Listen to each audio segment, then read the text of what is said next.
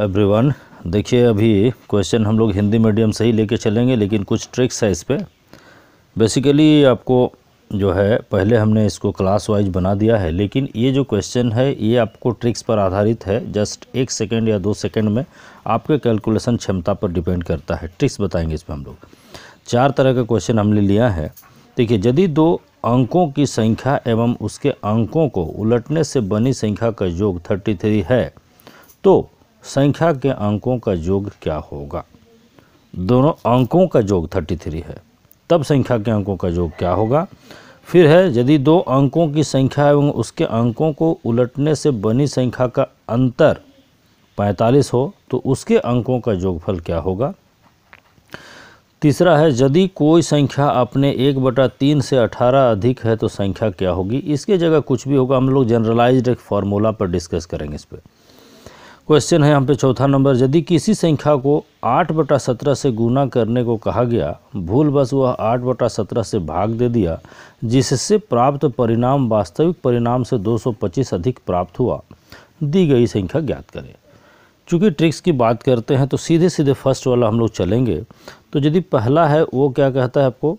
दो अंकों और उसके अंकों को पलटने से बनी संख्या का योग मान लिया एक बात कहते हैं हम लोग यदि दो अंकों की संख्या मान लिया छप्पन है, पलटने से पैंसठ बन जाएगा ये।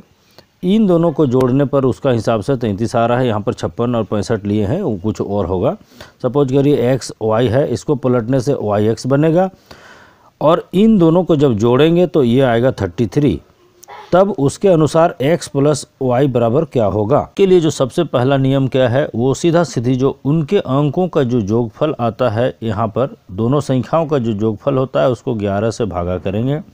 क्यों होगा? उस पर डिस्कस करने की ज़रूरत होगा तो क्वेश्चन करेंगे। अन्यथा हम लोग ट्रिक्स पर चलते हैं।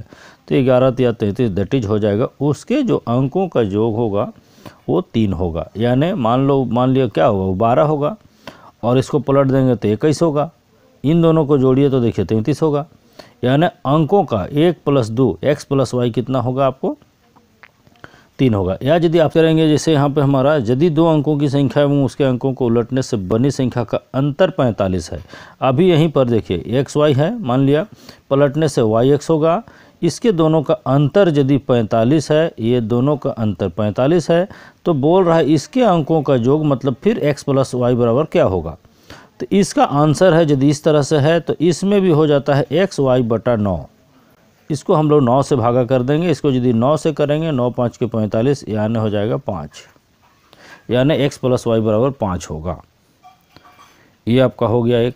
दूसरा क्वेश्चन तीसरा और चौथा थोड़ा सा हटके है। इसको भी जनरलाइज फार्मूला में हम लोग बनाते हैं। वहाँ पे कहता है कि यदि कोई संख्या अपने एक बटा तीन से तो मान लिया कोई संख्या क्वेश्चन की हम लोग बात करें, तीसरा क्वेश्चन लिखता है कि यदि कोई संख्या अपने एक बटा तीन से अठारह मतलब अपना तीसरे भाग से अठारह अधिक है तो संख्या क्या होगा? यदि इस तरह का क्वेश्चन है तो इसको हम लोग क्या करते हैं? एक जनरल फार्मूला हम लोग बनाते हैं यहाँ पे।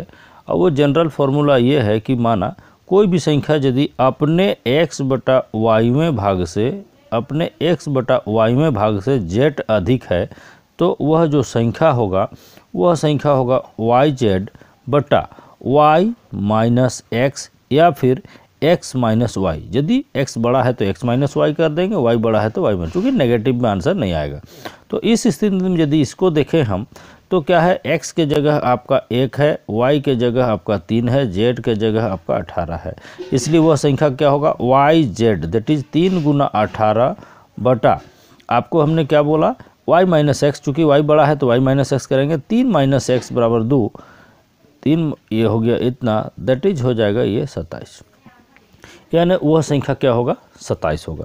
ये एक फार्मूला हो गया, यदि कोई भी संख्या अपने x बटा वाईवें भाग से z अधिक है तो वह संख्या हो जाएगा Y Z by Y minus X चाहे x माइनस वाई ये एक आपका हो गया यहाँ पे। चौथा की यदि बात करें तो थोड़ा सा ये भी हट के है, और बहुत ट्रिकी क्वेश्चन है इसमें, बराबर ये क्वेश्चन पूछा जाता है कंपटीशन में। तो इसमें क्या है आपको देखिए यदि किसी संख्या को आठ बटा सत्रह से गुना करने को कहा गया, भूल बस वो आठ बटा सत्रह से भाग कर दिया। तो हम बोल रहे हैं कि यदि किसी संख्या को x बटा वाई से गुना करने को कहा गया, लेकिन वो क्या कर दिया? x बटा वाई से उसको भाग दे दिया। जिसके कारण, चूँकि देखिए, भाग देगा तो क्या होगा? परिणाम जो होगा, ज़्यादा आएगा।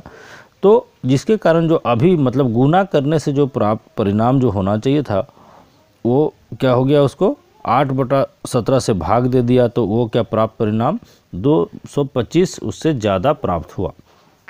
तो यदि x बटा वाई से गुना करने को कहे हम लोग, लेकिन वो क्या कर दिया? x बटा वाई से। चूँकि देखिए x बटा वाई से वो भाग कर दिया तो z अधिक प्राप्त होता है, मान लिया जाए। तो इस स्थिति में वह संख्या जो है, वह संख्या का फॉर्मूला होगा, x इंटू वाई बटा देखिए, यहाँ पे Y square minus X square या फिर X square minus Y square करेंगे इंटू जेड ठीक है? यहाँ पर यदि जो बड़ा होगा उसको आगे लिखेंगे।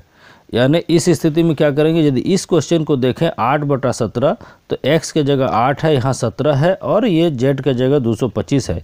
तब ये हो जाएगा X into Y that is आठ गुना सत्रह बटा सत्रह स्क्वायर देखिए वाई स्क्वायर सत्रह बड़ा है तो सत्रह स्क्वायर माइनस सत्रह स्क्वायर माइनस आठ स्क्वायर गुना जेड बराबर हो गया आपका दो सौ पच्चीस।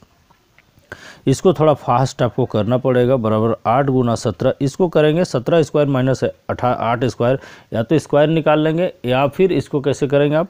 सत्रह माइनस अठारह, सत्रह प्लस अठारह, नौ गुना, यहाँ हो जाएगा, माइनस करेंगे तो नौ। और सत्रह आठ पच्चीस पच्चीस गुना जेड हो गया दो सौ पच्चीस। इसको नौ से काटेंगे, नौ एकम नौ नौ दूनी अठारह, चार बाईस, नौ पाँच पैंतालीस, फिर पच्चीस से पच्चीस कट गया। सत्रह और आठ को गुना कर देंगे, ये आ जाएगा आपका एक सौ छत्तीस, ये हो जाएगा आंसर।